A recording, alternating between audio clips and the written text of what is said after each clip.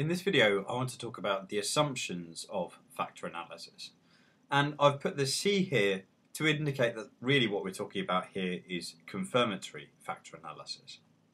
So the setup here is as we have normally we have V observed variables which I've denoted here by Y and we're trying to explain the variance and covariance of these variables by means of a set of shared factors which I've denoted here by F and we've got little f of these share factors. And there is also a component of each of the observed characteristics which is not due to the shared factors. And these are unique to those specific variables. And I've denoted those extra components of the variance by epsilon here. And we can rewrite this entire system using our vector notation which is just that y is equal to capital lambda times eta plus epsilon. So just to be clear here, eta here represents our vector of our unobserved factors. So that's the vector of f1 through to ff. And y here represents our vector of our observed variables. So that's y1 through to yv. Lambda here hence represents the weights of the different factors on each of the different observed variables.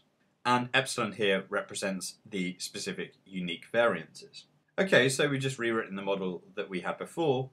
What are the assumptions of confirmatory factor analysis? Well, one of the assumptions is that the expected value of y is equal to zero. What does that mean in practice? Well, that means that essentially each of these observed variables has been standardized. So what do I mean by standardized? Essentially what we have, if we consider, let's say, the first component, in its raw form, the first component had a value x1. Then what we've done is we've taken off the mean of that variable, which I'm going to denote here by mu1, and we've divided it through by its standard deviation. And if you do that, this new transformed variable y1 actually has a mean of 0, so the expectation of y1 is equal to 0, and it also has a variance which is equal to 1. Why do we do this standardization? Well, we do it for a variety of different reasons, but one of the things about it is that it actually makes variances equal to 1 and covariance between individual variables are always less than 1. So it always, in principle, makes actually covariances and variances to some degree comparable. Okay, so firstly we've got that the expected value of our dependent variable is equal to 0, or technically a vector of zeros. So this first assumption, really what it implies is that also we have that the expected value of eta is equal to 0, and similarly for the error term, the expected value of epsilon is also equal to 0. So basically all of the variables are in some sort of standardized form where we're looking at deviations from that variable from its mean. The final assumption is that the expectation of eta times epsilon transposed is equal to zero.